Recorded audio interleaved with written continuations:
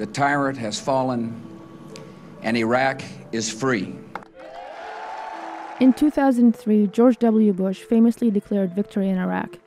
A powerful explosion killed more than 20 people today. The city has been in a state of chaos. Deadliest strike against American forces. Bodies have been found. Policemen, security officers. Car exploded today in the Iraqi city of Basra. Rocket attacks and mortar attacks are a daily occurrence. What was considered liberation in Iraq is beginning to look more and more like occupation.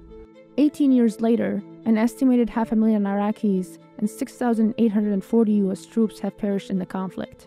Today, the U.S. has 2,500 troops in Iraq, down from a peak of 168,000 in 2007. In July, the government claimed that American troops will no longer engage in combat. Instead, they'll only train and assist Iraqi security forces in their fight against ISIS.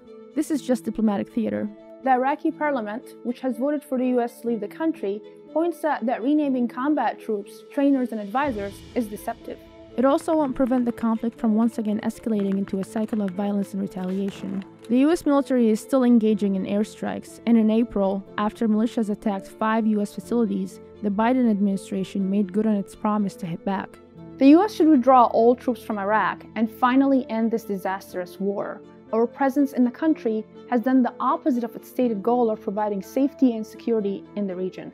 I was born in Iraq and lived through Saddam's regime, Operation Desert Storm, US sanctions, Operation Iraqi Freedom, and the Iraqi Civil War. I witnessed firsthand how US actions that favor one group repeatedly angered another group, which is why the war has been an endless game of whack a mole.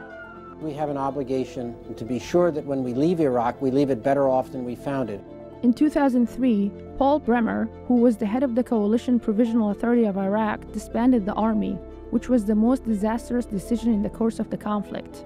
The 25 person interim governing council he created was designed to represent the diversity of Iraq's population, but all it did was augment the complexity of Iraq's ethnic and religious groups. The result was inflaming sectarian tensions, which led to a deadly civil war. The region surrounding it is even more complex. Numerous nations have competed for decades throughout the greater Middle East, from Iran to Saudi Arabia, Turkey, Qatar, and more.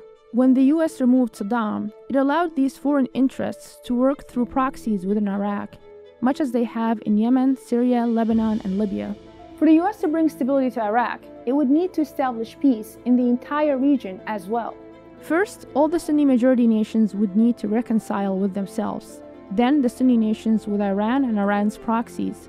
But as long as the US remains in Iraq, it's destined to favor one side over another, and will only exacerbate the regional conflicts.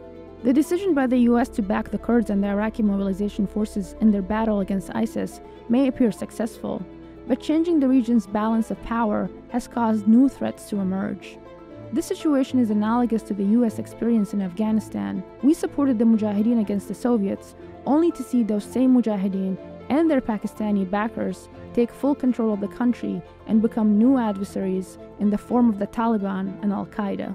Similarly, in Iraq, after the fall of ISIS, the Iranian backed militias that had worked with the US gained new influence within Iraq, and the US presence in the region encouraged other nations to launch their own military operations. Turkey started bombing the Syrian Kurds, Saudi Arabia and the UAE joined forces and attacked Yemen, and the Iranian backed militia Kata'ib Hezbollah was caught using American made equipment that the US had given to the Iraqi military. The result was to strengthen Iran, just as Operation Iraqi Freedom had done back in 2003. So the US switched its focus to containing Iranian influence, even assassinating Qasem Soleimani and Abu Mahdi al Muhandis, whose militia was largely responsible for the defeat of ISIS. This nonsense won't end until there's a complete US withdrawal from the country. The US says it's sticking around to support the Iraqi military and government, even though each has publicly stated that they want the Americans to leave. There is nothing stopping Bush's disastrous war from going on for another 18 years in an endless loop of military actions, followed by unintended consequences, followed by a military response to deal with those unintended consequences, followed by more unintended consequences.